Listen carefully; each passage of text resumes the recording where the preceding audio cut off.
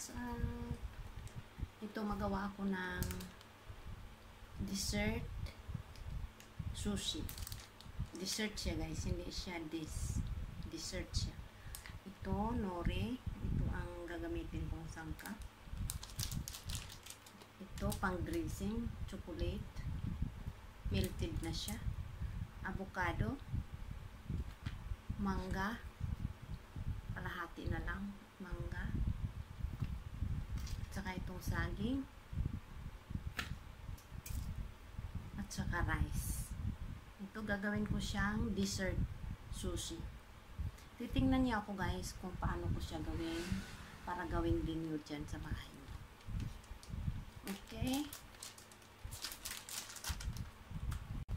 Now let's cut the nori. This is nori guys. The name is nori. Puputulin natin siya.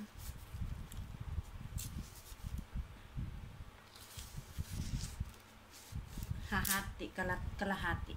Putulin ng kalahati. Kalahati lang ang gagamitin ko muna. Oh, ito guys, maglalagay na tayo ng kanin. Itong gloves, lagyan natin ng kunting tubig para hindi didikit yung kanin.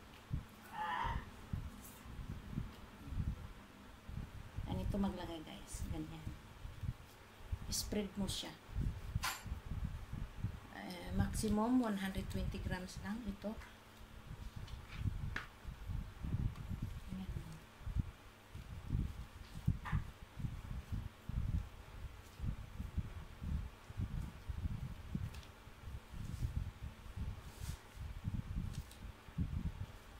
Huwag mo masyadong idiin yung kanin sa nori guys. I-spread mo lang siya ng dahan-dahan.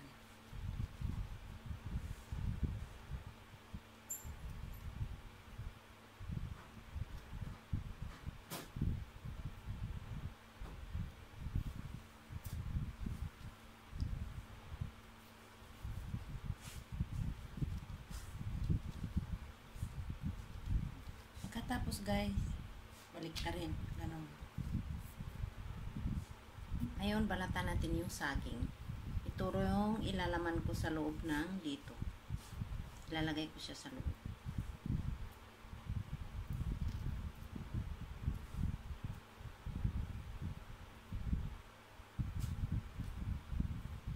Hatiin mo siya ng kalahati. Kasi hindi masyado mahaba. Hindi sila magkapareho ng haba ng nuri. Hatiin natin. Saka lagyan natin dyan. Iiwan natin yung iba. Ganon. Yan na ang laman niya. Saging. At let's tutupiin ko na siya. I-roll ko na siya guys. Tingnan nyo kung paano mag-roll. Ganon. Alalay lang siya. Ganon. Sige pa, isa pa. Balik. Balik. Ilak natin yung point.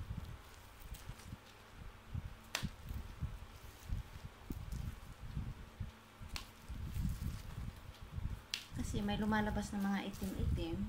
Yung nuri nakita. Kasi kunti yung kanin nilagay ko.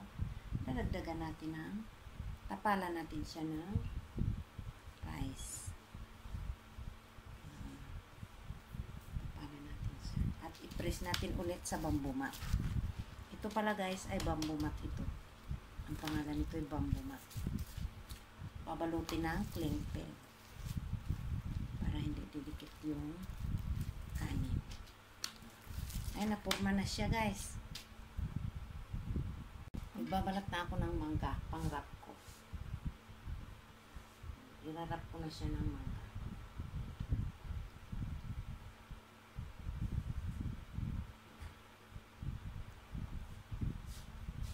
Yung kalahati niya, mangga yung kalahati dito, lalagay ko avocado.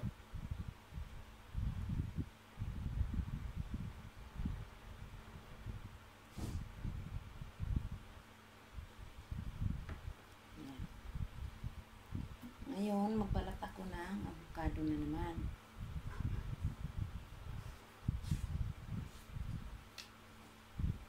Ngayon magrarap na tayo ng avocado.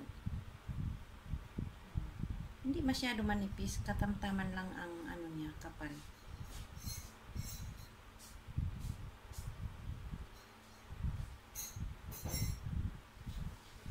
Katamtaman lang ang kapal, guys. Hmm.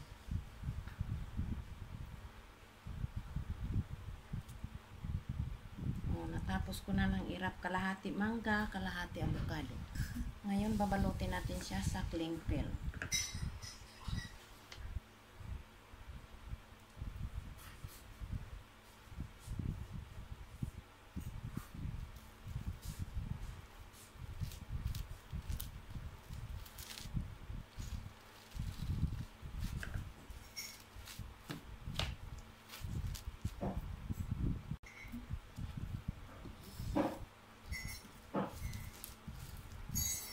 Katapos ganon, tupi na baliktad para pag pinutol mo siya, hindi ka mahirapan magtanggal ng sa cling film.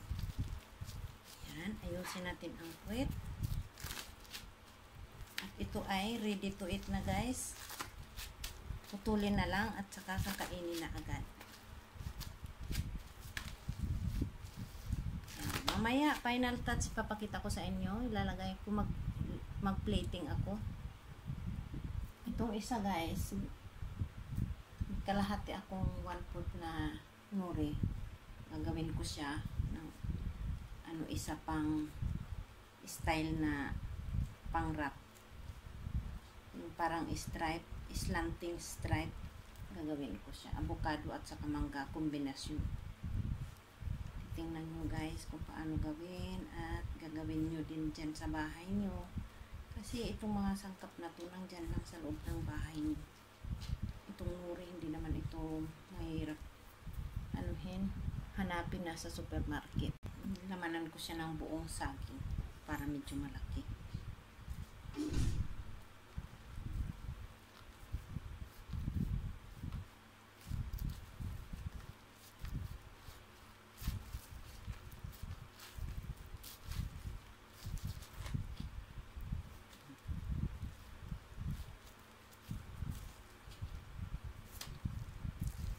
Yan, ito medyo malaki kasi buo ang nilagay ko. Buong saging.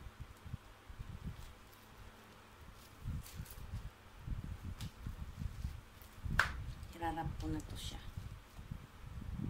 Irarap ko na siya ng avocado, kombinasyon ng mangga.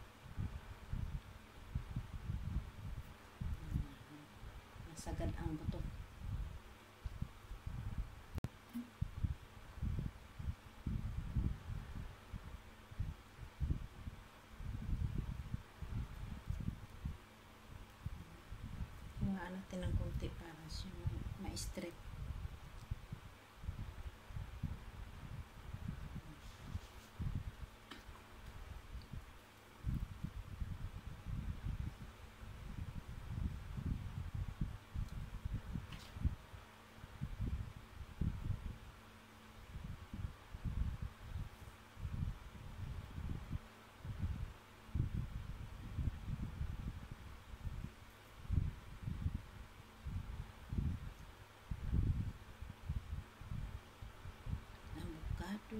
Avocado, mangga, avocado.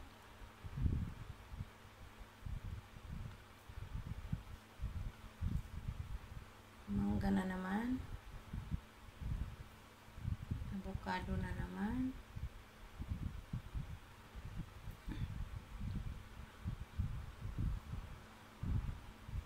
Avocado na naman. At nakalas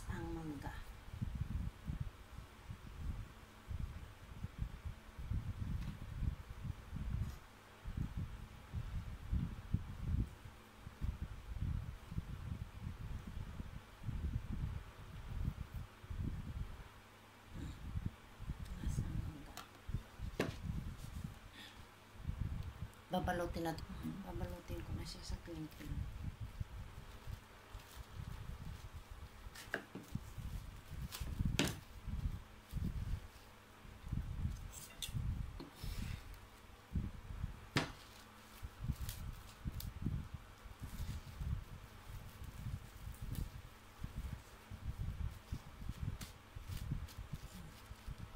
press lang natin ng konti.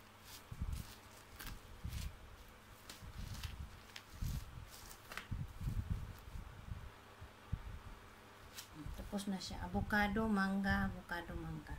May tatlong order ako kasi ito isang order, ito dalawang order. Puputulin ko sa gitna. Ngayon, ipapakita ko sa inyo ang final touch, guys. Plating ko siya. Hiwain ko na siya, guys. Tingnan niyo. Apat na hiwa lang to, guys.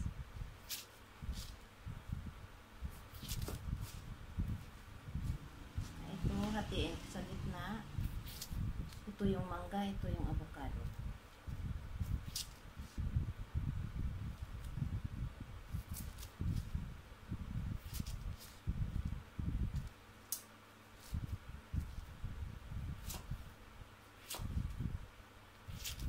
Tapos ko lang hiniwa kaya sila, lagay ko na siya sa plat.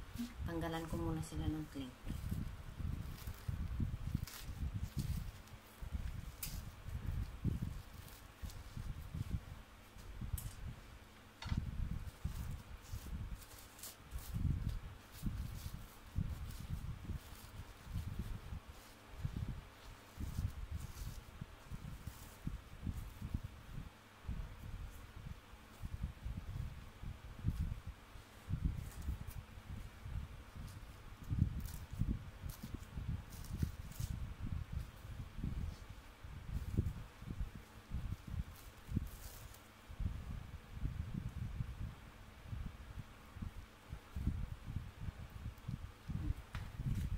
Isisintings ko na siya sa plato guys. Ito na sila.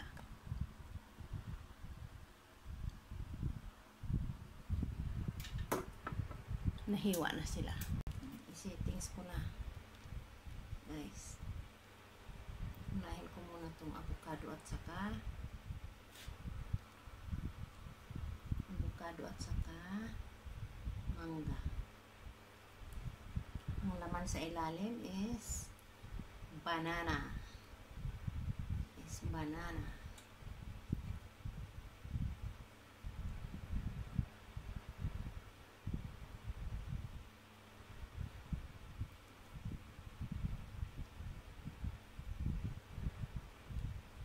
Ito siya puro mangga at saka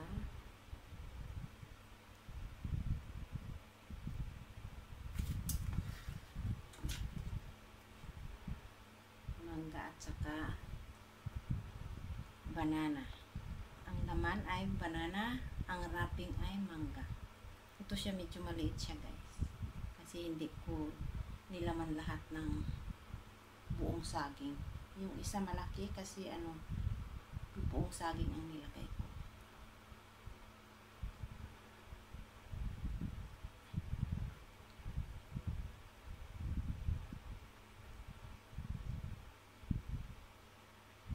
Ito na siya guys. Ito na yung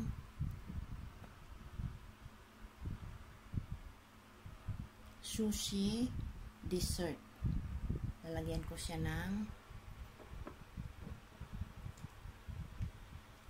topping na chocolate. Ganun guys.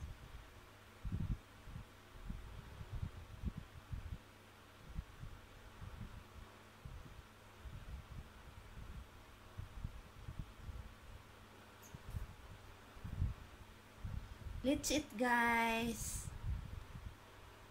Sana may matutunan na naman kayo dito. Kain tayo ng sweet sushi is dessert.